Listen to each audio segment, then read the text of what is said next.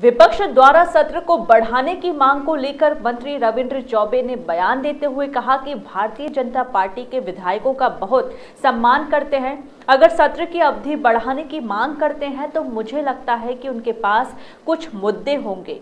लेकिन उनका दुर्भाग्य है कि तेरह सत्र विधानसभा का हो चुका है। तेरह सत्र में भारतीय जनता पार्टी का ये रवैया रहा है तो सदन में ही उपस्थित नहीं रहते तो अवधि की मांग करना मैं समझता हूँ बेहद हास्यास्पद है।